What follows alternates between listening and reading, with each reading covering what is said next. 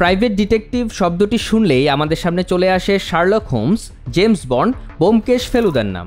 এরা প্রত্যেকেই জটিল অপরাধ সমাধানে সিদ্ধহস্ত। তবে প্রাইভেট ডিটেকটিভ বিষয়টি এখন সিনেমা কিংবা উপন্যাসে সীমাবদ্ধ নয়। বাস্তবে বিভিন্ন দেশে তারা নানা ধরনের জটিল কেসের সমাধান করতে পুলিশকে সহায়তা করে।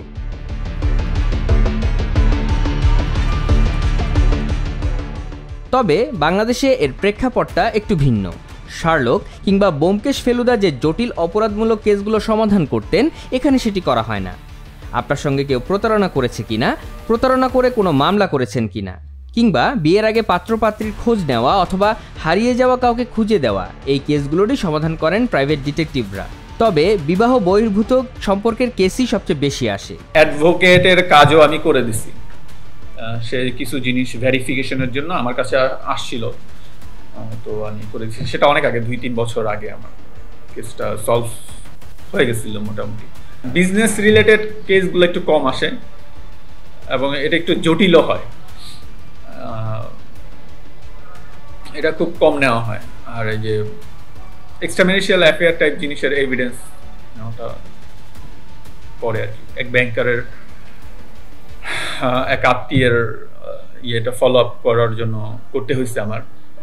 সেটা হচ্ছে শান্তিনগর এরিয়ার থেকে ইংরেজি সাহিত্যে পড়া ফুয়াদ জেমস বন্ড আর শার্লক হোমসকে দেখেই এই পেশায় আসেন। কাজ শুরুর পর তিন বছরে বিশটিরও বেশি কেস সামলিয়েছেন বেসরকারি এ গোয়েন্দা।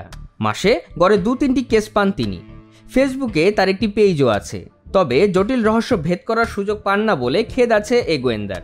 দুই তিন বছর হলো কিন্তু কেস খুব একটা বেশি নেওয়া হয় না। প্রতি মাসে একটা দুইটা তিনটা কেস নেওয়া পরে আর কি। আবার সবগুলো কেস নেওয়া যায় না। কিছু কেস থাকে যে অনেক বেশি আনএথিক্যাল ওটা করা সম্ভব না যেটা আইনের পরিপন্থী। আমি যতটুকু বুঝি আমি বুঝার সীমার মধ্যে থেকে কাজ করার চেষ্টা করি আর কি। এক এক কেসের জন্য তার পারিশ্রমিক এক এক রকম। আর গোয়েন্দাগিরিতে সহায়তার জন্য ফুয়াদের আছে কয়েকজন এজেন্টও। সাধারণত প্যাকেজগুলো ধরেন যদি ঢাকার মধ্যে হয়, আমরা পার ডে কস্টিং পাঁচ হাজার থেকে দশ হাজার টাকার মতো নেই। আর ঢাকার বাইরে হলে আপনার দশ থেকে বিশ হাজার টাকার মতো নেই পার ডে কস্টিং। এর মধ্যে আমাদের যে এজেন্ট যায়, সে আমি নিজেও যাই, অনেক সময় ঢাকার মধ্যে হলে নিজের এরিয়ার মধ্যে হলে আর কি তখন আমি নিজেই যাই নিজেই করি। আবার আমার আমার কয়েকজন এজেন্ট আছে তারাও করে আর কি তাদের সেই খরচটা দিয়ে দেওয়া হয়। সেজন্যই আমরা পেমেন্টটা আগেই নেই। আইন শৃঙ্খলা বাহিনীর সঙ্গে কাজ করার পরিবেশ এখনও তৈরি হয়নি বলে জানান এ গোয়েন্দা। বলেন সুযোগ পেলে তারাও পরকীয়া কেসের সমাধান ছেড়ে অনেক জটিল কেসের সমাধানের যোগ্যতা রাখেন। সরকারি কর্মকর্তার ছেলে সচিব পর্যায়েরই হবেন আর কি। তো সে প্রেম করে, বিয়ে করে, ভুল করে কাবিন অনেক টাকা করে ফেলে আর কি। তো সে তাদেরকে টাকা দিয়েই যাচ্ছে। প্রায় বিশ লাখ টাকার মতো কাবিন দিছে দশ বারো লাখ টাকা দিছে, কিন্তু ওটা ওর বিজনেস টাইপেরই মেয়েটা বিজনেস টাইপেরই ছিল।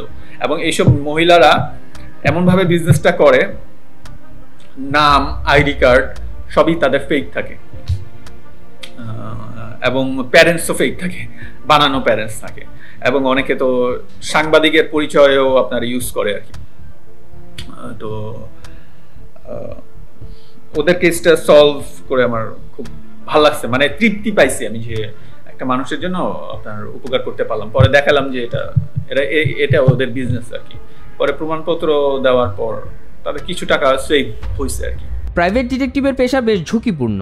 রহস্য উদ্ঘাটনে ধৈর্য ধরে অনেক সময় দিতে হয়। তবে ফিল্ম বা বইয়ের মতো বাস্তবের গোয়েন্দাদের জীবন ততটা অ্যাডভেঞ্চারাস নয় বলে জানান ফুয়াদ। মুভিতে আমরা দেখি জাম টাম দিয়ে, গাড়ি টাড়ি দিয়ে ফাইটিং টাইটিং করে ইয়ে করে জেমস বন্ডে কিন্তু ওই রকম না বিষয়টা।